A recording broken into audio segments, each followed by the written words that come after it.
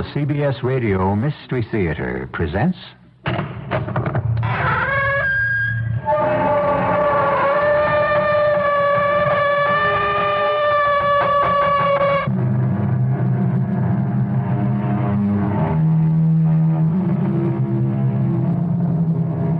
Come in.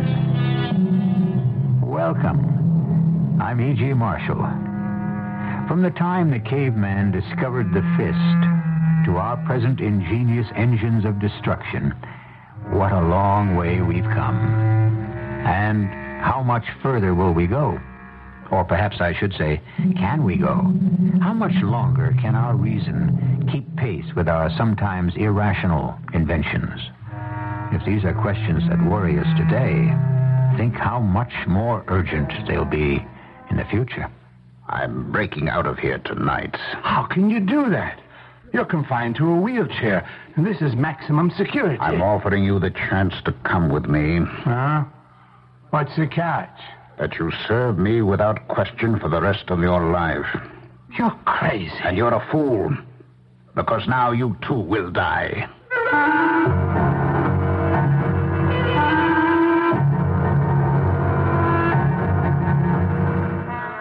Mystery drama, The Tunnel Man, was written especially for the Mystery Theater by Percy Granger and stars Ralph Bell. It is sponsored in part by Buick Motor Division and ARM, Allergy Relief Medicine. I'll be back shortly with Act One.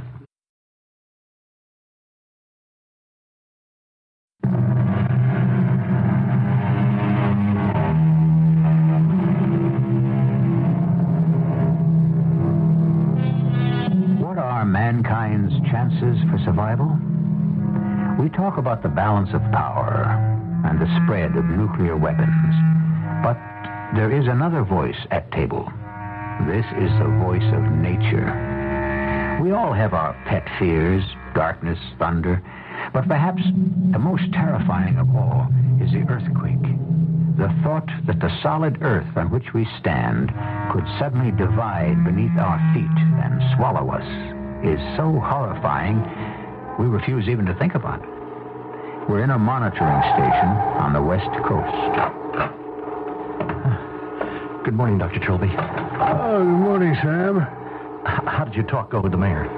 Well, the National Guard and local army units are standing by, but he still doesn't want to order an official evacuation of the city. But that's insane. What right does he have not to warn the people of the full danger?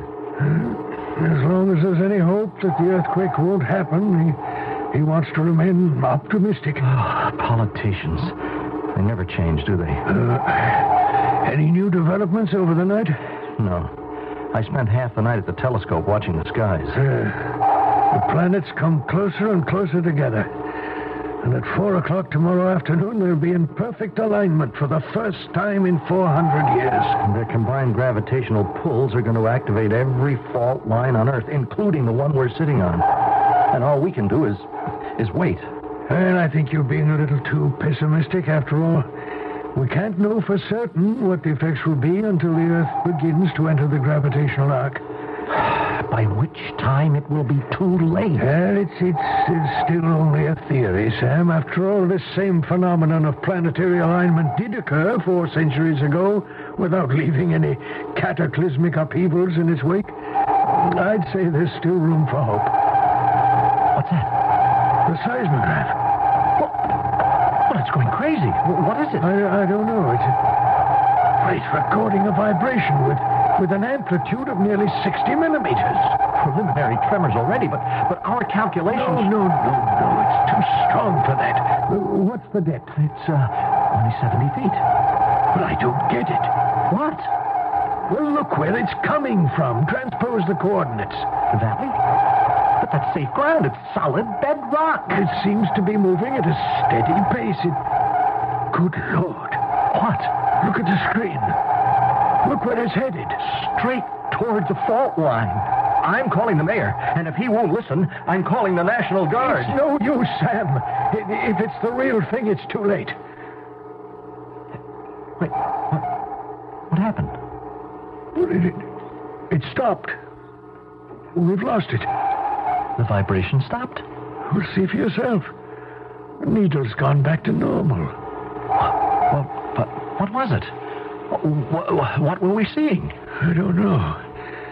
A vibration from out of nowhere, heading straight for the fault, and then just as suddenly it stops, disappears without a trace. Dr. Trilby, there's something else. What? It's its direction of travel. Uh, It was moving from east to west, but the stress lines in the valley run north and south. Yes, of course. Now, logically, its natural movement should have been with the stress lines, not across the grain. Sam, I, I, I think as soon as Dr. Peterson arrives, he, you and I'd better go out to the valley and try to find out just what it was we were seeing.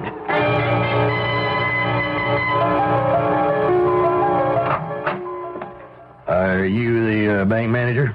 Yes, uh, James Dale. Well, I'm Ron Hankler, uh, police commissioner. Thank you for coming, Commissioner. Mm. Uh, Captain Aylward said it was a pretty extraordinary situation. Well, I don't know what to make of it. Mm. You've been robbed now, is it right? Well, yes, I, I guess we have. Right, well, uh, just tell me what happened, Mr. Dale. I can't. Uh, what do you mean? I mean, I can't explain it. I think perhaps I'd better take you down to the vault and let you see for yourself.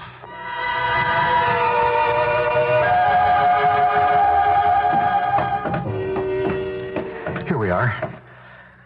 I had the guards close the vault. I thought it best if no one else saw.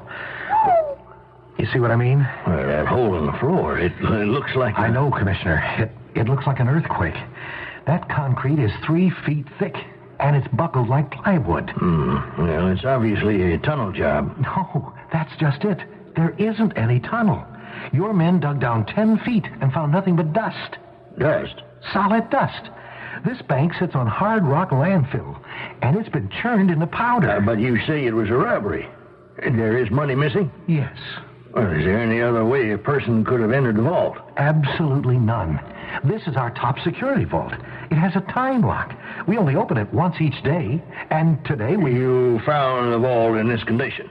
Yes, How much did they get away with? That's the other thing. This vault contains over a million dollars of our reserves, but all it's missing is $10,000. And not only that, but what was taken was in new $100 bills. Uh, How new? Straight from the mint, still banded. Hmm, which means the serial numbers are still recorded. And consecutive. A person would have to be crazy to try to spend it. Yet, right next to that money was a million dollars in older currency. Uh, who else knows about this? Mm, The guard, uh, myself, Captain Aylward, and three or four of your men. I thought it best not to tell the press. People are jumpy enough as it is because of the earthquake scare. Uh, uh, what earthquake? Oh, Commissioner, everyone knows the situation. The conjunction of the planets or whatever it is that's supposed to take place tomorrow. Well, those reports have been exaggerated. But Uh, Mr. Dale, did you or anyone else in the bank feel anything? Well, no. Well, then I think we have to assume this uh, robbery was man-made from start to finish. Huh? Then how was it done? Well, that's up to us to try to find out. In the meantime, I want your assurance that you'll keep this quiet. And if people are jumpy, there's no point in giving them ideas.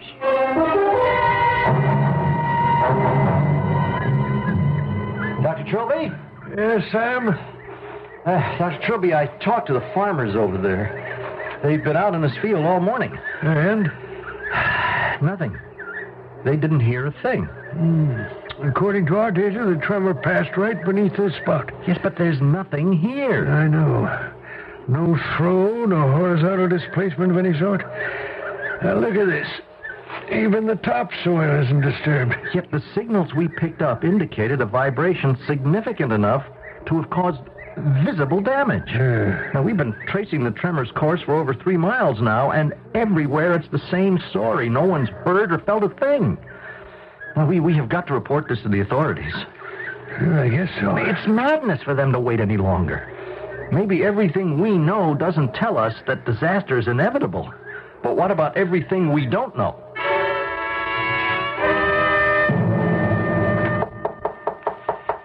Yes, uh, come in. Oh, uh, excuse me. I, I didn't realize you were incapacitated. I can manage by myself. You're the manager of this bank?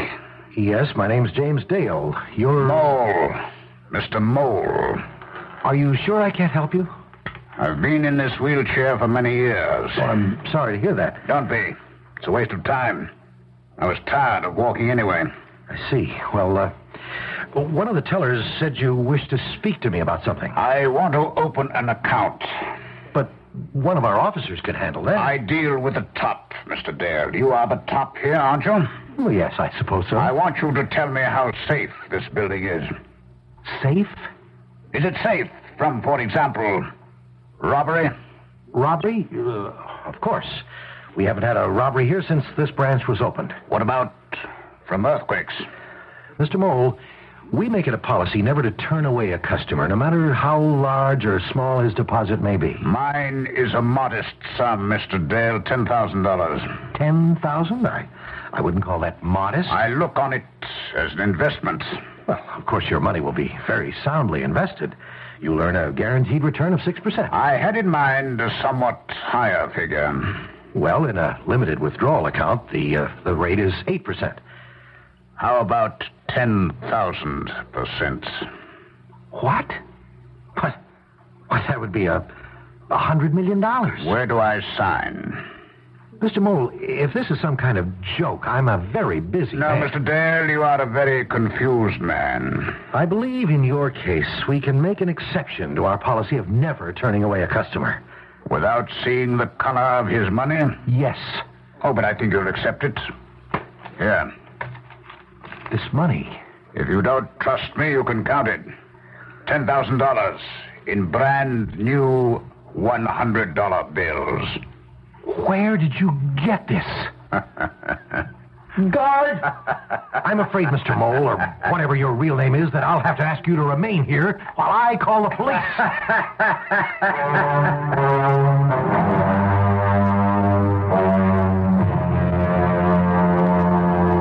large metropolitan area hovers on the brink of disaster. Its scientists probe for signs.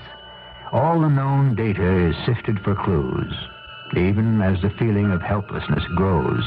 And then, suddenly, the unknown. A strange tremor. An incredible bank robbery. And now the arrival of a mysterious stranger. I shall return shortly with Act Two.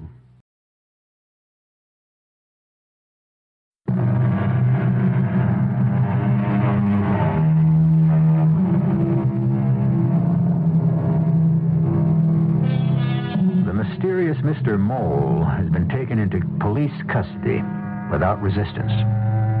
Nor does he make any effort to deny his responsibility for the $10,000 robbery.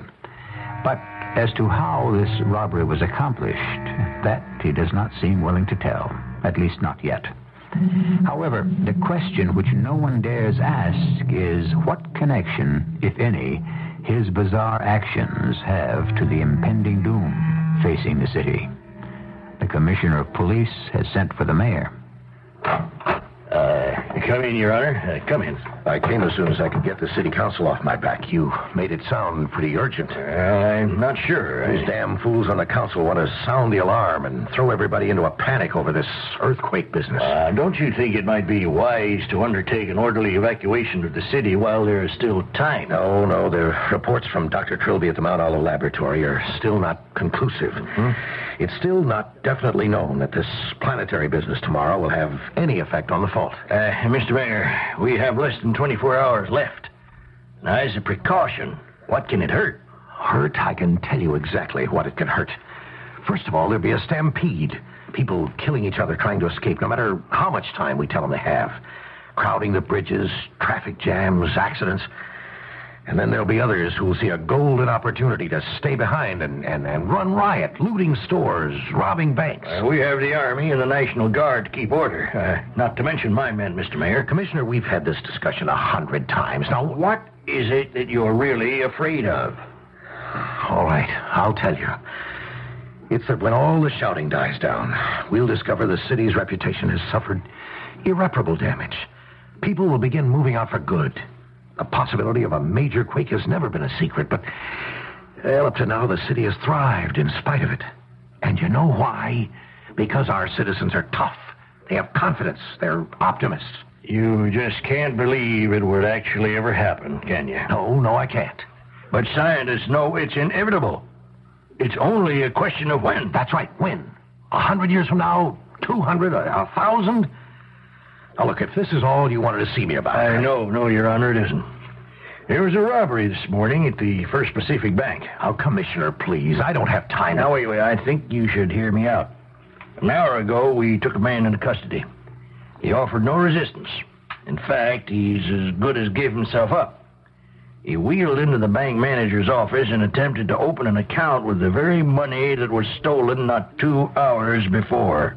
He wheeled in? Yes, he's confined to a chair. Well, what does this have to do with me? He is demanding to see you. And I think under the circumstances... Now, look, I can't waste time now on crackpots. I've got my hands full. How can a man in a wheelchair rob a bank? Well, that's just it. The method he used. It seems to have seems to have been an an earthquake. What? Yes, the floor of the vault was torn apart, and the ground beneath was crushed to a powder as if as if the earth had shifted. Well, didn't the people in the bank feel anything? No. Well, this is preposterous. I I don't know. There's something about this man, something ominous, an incredible sense of power, and I think if we ignore him, Mr. Mayor, it's at our own peril.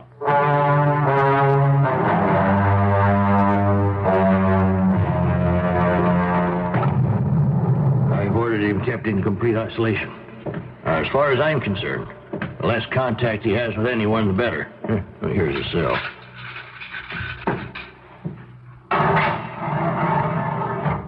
Oh, where is he? What? Well, there's no one in there. He, he's gone. Look, if this is your idea of maximum security. Look, the floor. It's been chewed to bits. Well, he must have had some kind of tool concealed in his wheelchair. Well, there is no tool that could wreak that kind of damage. That's three feet of steel reinforced concrete. Whatever it was, he obviously tunneled out. I, I don't think so. Well, he's gone, isn't he? There's no hole in the ceiling. There aren't any windows. And I watched you unlock the door myself. What other direction could he possibly have gone except down? But you won't find a tunnel. Well, how do you know? Because this is exactly what happened at the First Pacific Bank. Look, Commissioner, what are you doing? I am digging to show you that there is no tunnel. All right, stop raising all that dust. This isn't dust, Mr. Mayor. It is bedrock. It is solid granite. It's the earth we stand on. Sam, Yes, Dr. Trilby? what time is it? Uh, 557. Right on schedule. Pluto is almost in place. Neptune is closing. One by one, the planets are entering a common gravitational arc. One by one, the fields of pull are beginning to overlap. We'll be reaching the edge of the arc ourselves in less than four hours. Yes. That's when the real test begins, Sam. Well, if our theory is correct, the fault should begin to respond with tremors of one to five millimeters, which will increase steadily at shorter and shorter intervals. Until four o'clock tomorrow afternoon, when the alignment will be absolute. And we'll all know once and for all the true nature of the fault we've lived on all these years.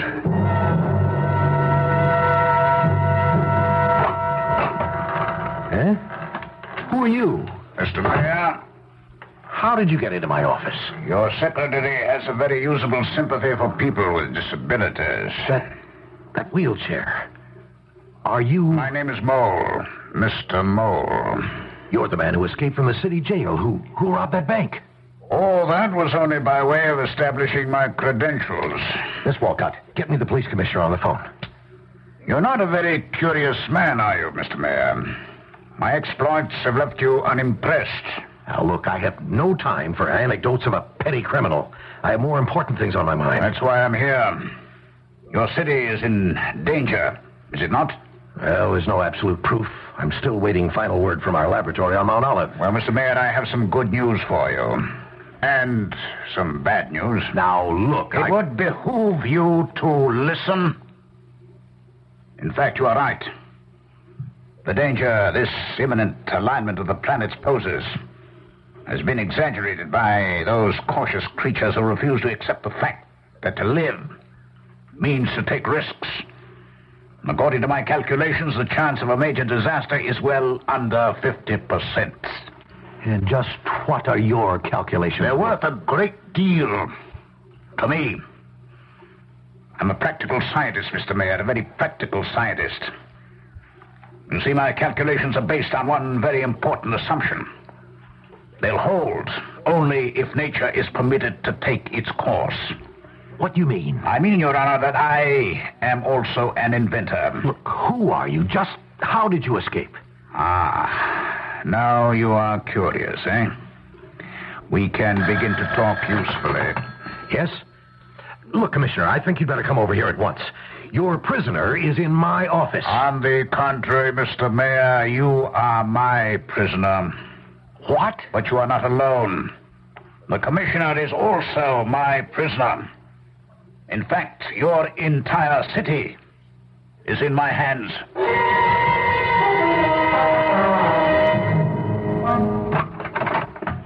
Uh, Mr. Mayor, uh, what is going on? I, I, I don't know. Mr. Commissioner. You. Uh, Mr. Mayor, are you all right? I brought a detail with me. They're waiting outside. I, uh, I don't think we'll need your men, Commissioner. It seems the explanation of my movements has upset his arm. Well, I'd like to hear that explanation myself. Do you know what a submarine is? Of course, I know what a submarine is. What kind of question is that? Well, it seems Mr. Mole here has invented its terrestrial equivalent. Are they a machine that uh, moves through the earth? Precisely, Commissioner. As a submarine moves through water. How? By an extremely simple device. The nose of my Earthship contains a rotating unit 15 feet in diameter. This unit resembles an enormous screw, and it can turn at speeds high enough to cut through even the most obdurate bedrock. And and that is how you got into the bank? Oh, no. The mothership is far too big for such precision work. There is a smaller two man craft, which of course operates on the same principle.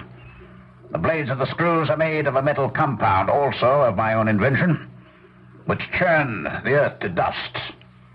The dust is then channeled through grooves to the rear of the craft and left just where it was. Huh.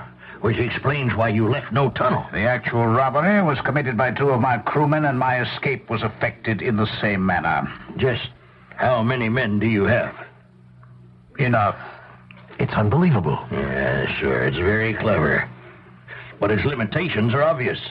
Well, how do you mean? This time, we won't be so considerate of Mr. Mole's condition. He'll have a nice cell on the top floor.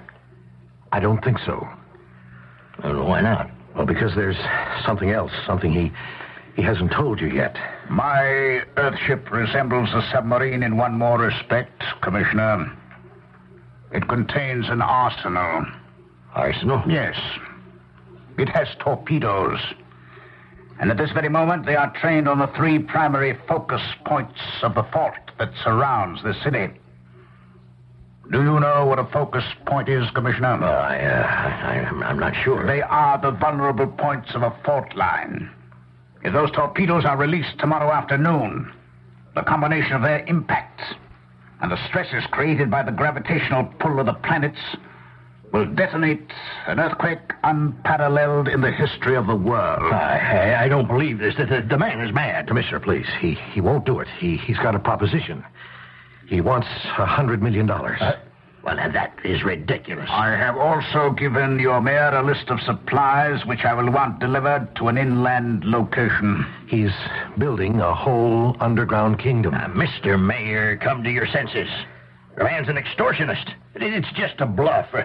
How do we know that he can do what he claims? You saw what he did to that bank vault and to your maximum security prison. Yes, but underground torpedoes that can move with enough speed and force to set off an earthquake? Your commissioner has a point.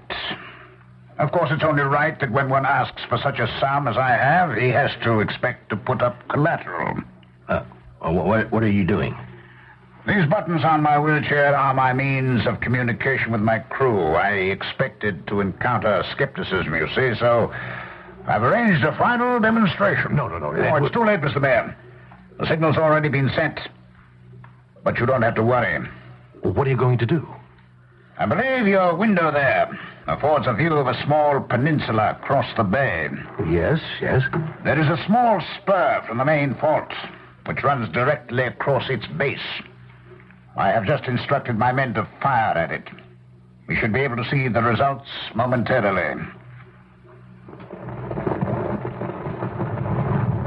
Good Lord. The entire peninsula vanishing into the ocean. Fortunately, the peninsula was uninhabited. Such will not be the case tomorrow. If my demands have not been met and I'm not back on board my Earthship by tomorrow afternoon at precisely 4 p.m., 500 miles of coastline, including this entire city, will go crashing into the sea.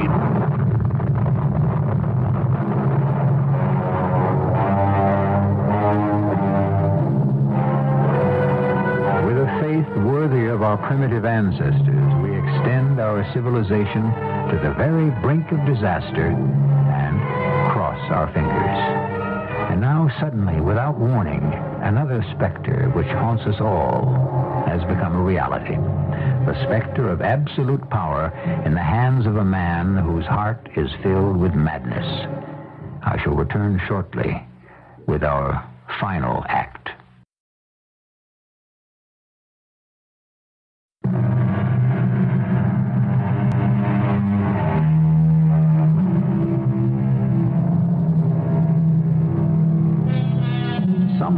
Said that malice can always find a target to shoot at and a pretense to fire.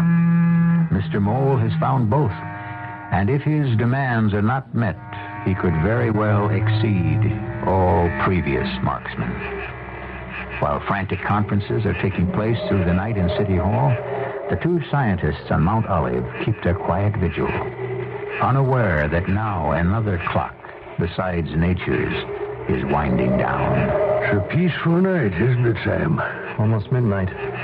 In a few minutes, the Earth will enter the gravitational arc, and our, our precise calculations can begin. I've devoted my career to studying this fault. For 20 years, I've sought to unlock its mysteries, to elevate the art of prediction to an exact science. And now, within a few hours, at last, I'll be able to say absolutely what it's going to do. Dr. Trilby, are you all right? What? Oh, oh, yes. Forgive me, Sam. The inhuman scientist with his distorted priorities. well, we better go in. I, uh, I just want one last look. Uh, it's a beautiful city, isn't it? Why, why hasn't anyone left? Why are they waiting for an official edict? Uh, look at all those lights down there still burning in practically every home and every building as far as the eye can see. Uh, that's your answer, Sam. Lights for as far as the eye can see. Centuries of evolution and progress. And people just can't believe that it could all just disappear. General Scarborough, Yes? thank goodness you've arrived. I'm Mayor Gibbs, and this is Ron Hankler, Commissioner of Police. Uh, hello, General. Did you bring the money? Yes, the president authorized this withdrawal. Good. I'll uh, I'll get Mr. Mole. Now, just a minute, ma'am.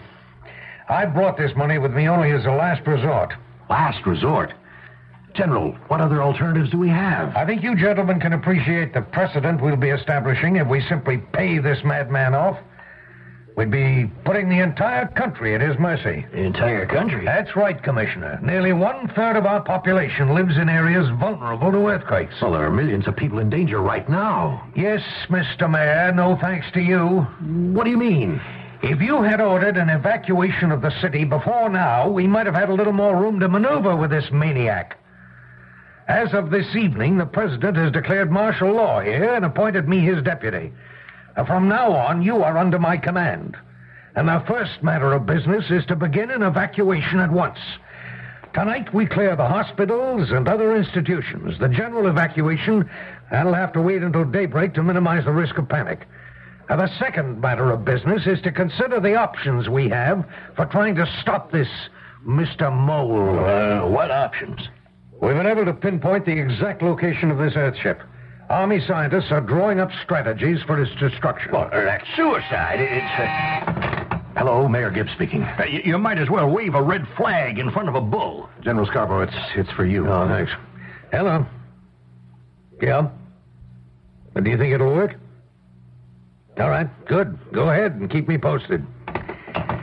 Now, gentlemen, we may have our answer. Our scientists have been developing a new kind of light beam that may be able to penetrate the Earth. If it's successful, we can then transmit a specific nuclear charge right along its length and explode the ship. But what if the men on board that machine get wind of this? Impossible. The beam's frequency is undetectable by any device we know of. But if they do, there's no telling what will happen. They may fire those torpedoes. With their leader here in our custody? General, you haven't met this man. He's crazy. I think that's something I'd like to determine for myself.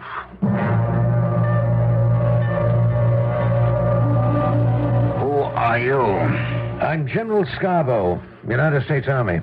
And you want to know if I'm really prepared to carry out my threat, eh?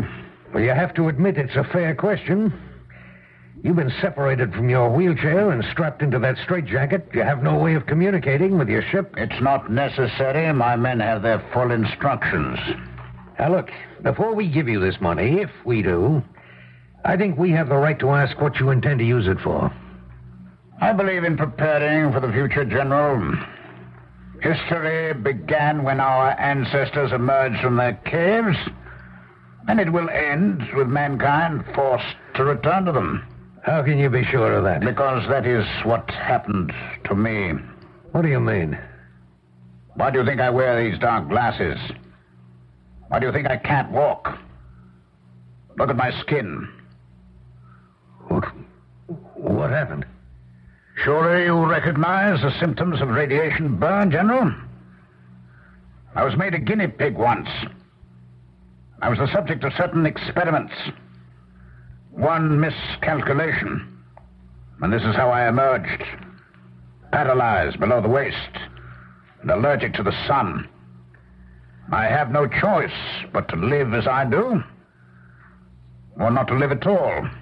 So you think you can build an underground empire? I am already in the process of fortifying and supplying the caverns beneath your country. Your government's contribution should help us considerably. You have to admit the logic of a general. It's only a matter of time before you all blow each other to pieces. You don't have much faith in us, Mr. Well, Moore. why should I when I'm the one who is going to ignite the spark? What do you mean? Where do you keep most of your missiles, General? Underground? Isn't that right? Just what are you planning to do? I've been banished from the Earth's service. But I've made the nether regions mine. When the Holocaust comes, the Earth will be your only refuge. But admittance will be at my discretion. You're mad. But my method is flawless, eh? Mr. Mole, I'm going to make you an offer. And I'm going to make it only once. We'll put you in radio contact with your Earthship. You will order your men to the surface to surrender. But why should I do this? Because at this very moment we are cutting a channel to your Earthship with a laser beam. When the channel is complete, we will dispatch a specific nuclear charge. You have less than two minutes to prevent that. You could have spared yourself the trouble, General. My men will have detected this and relocated the ship. Nobody has a detection device for this laser. When you travel without sight, General, you realize very quickly that your other senses have to take up the slack if you are going to survive. Scarborough here. What? I see. No, no further instructions at the moment. Well, You were right. The ship has relocated. light travels in a straight line, and now you'll have to start all over. But you can see it's pointless, of course. Mr. Mole, I appeal to you as one human being to another. Human? In my condition? You flatter me, General. Time is getting shorter. Let us consider our options, eh? Either you'll meet my demands or you won't. If you do, I leave your city in the hands of nature. If you don't, we all die. Very well. Obviously, we can't meet your demands and allow you to go. So we must concede you the city and carry on with the evacuation. But I am telling you now, Mr. Mole, you will be left behind. I won't be alone, General. What do you mean? There's one thing I haven't told you. Which is?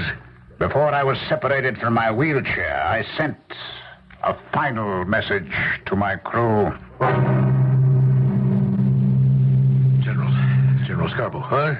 Oh, Mr. Mayor. It's nearly daylight now. Should we put the general evacuation into effect? Um, no. But we have less than 12 hours. There's not going to be any general evacuation. We'll all be killed. We'll also be killed if we try to escape. What happened? Mr. Mole gave his crew instructions to monitor the vibrations of traffic leaving the city. With the orders that if the vibrations went above a certain amplitude, the ship is to proceed immediately with the attempt to detonate the fault. But then, of course, we must pay him the money and let him go. That is out of the question. Why? Mole has no intention of stopping, short of destroying all life on the surface of the Earth. And therefore we must stop him here, even though it means the death of everyone on this coast, including ourselves.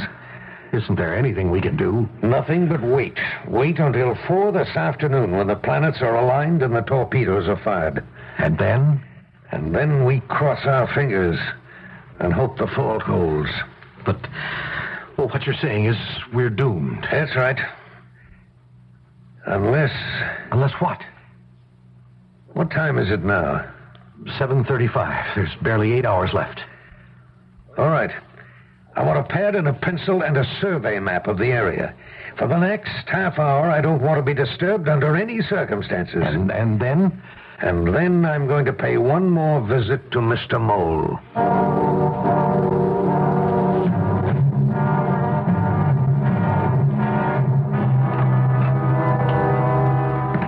You're back, General, eh? You've reconsidered? Not at all. However, since we're both waiting for the end, I thought you might like to pass the time. What did you have in mind? You play chess?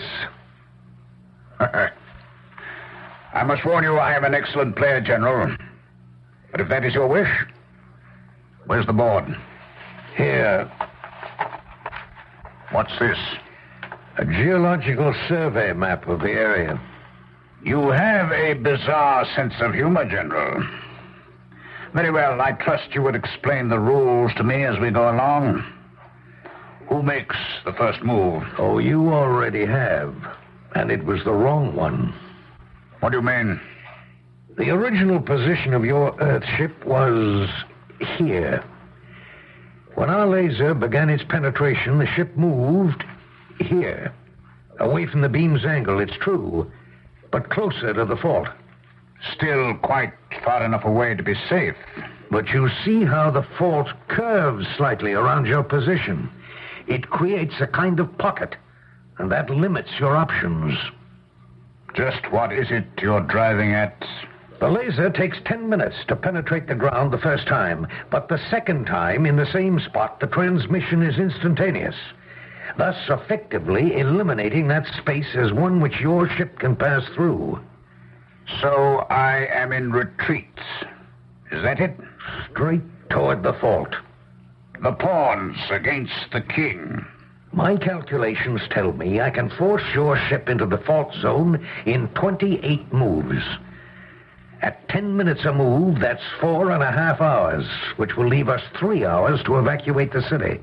And if my men see what you are doing and detonate the fault before they are within its range, That's a chance we'll have to take. if your plan works, it means a stalemate. And the future will be left up to nature, after all.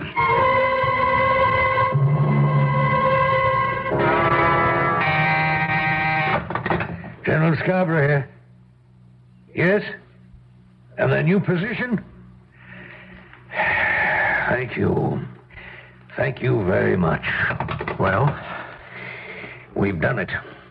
They just moved within the fault zone. Then we can go ahead with the evacuation? That's right, Commissioner. Headquarters has already sent orders down the line. Look, look, look out, look out the window there. Yes, traffic's already beginning to move across the bridges. With three hours, if all goes smoothly, everyone should be safe. And we've done it. We can escape. And who knows, perhaps the fault will hold after all. Come in. Oh, Dr. Trilby, we've been expecting you. Good, good day, Mayor. The commissioner, you know, of course, and uh, this is General Scarborough. Hello, General. Congratulations. I, I've just heard the whole story.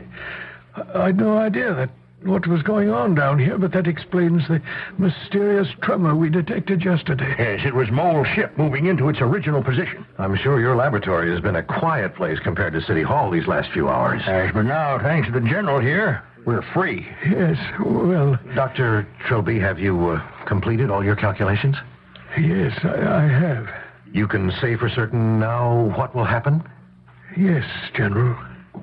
Well, We can only hope that everyone will get out of the city in time.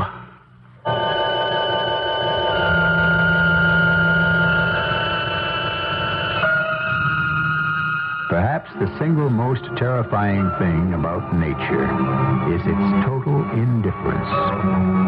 It is beyond the reach of reason, independent of our concepts of right and wrong, justice and morality. We cannot always predict its movements, and we certainly cannot control it. The one thing we do know about nature is the one thing we so often forget that we ignore it at our peril. I shall return in a moment.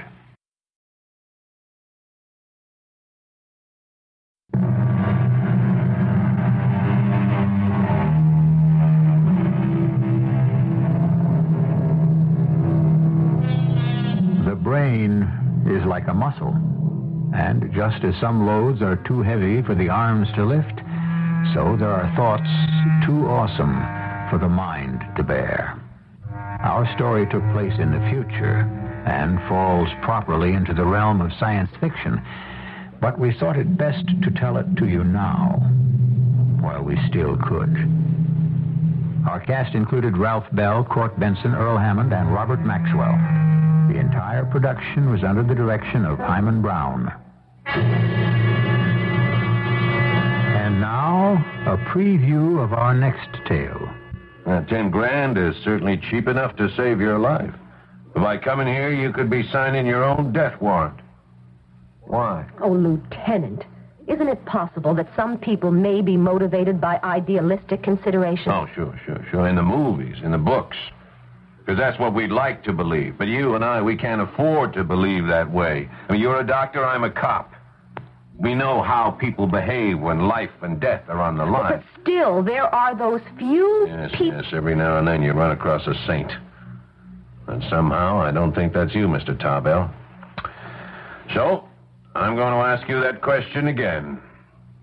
Why are you here? Well, Lieutenant, I, I have a confession to make. Radio Mystery Theater was sponsored in part by Ex-Lax. This is E.G. Marshall inviting you to return to our Mystery Theater for another adventure in the macabre. Until next time, pleasant dreams.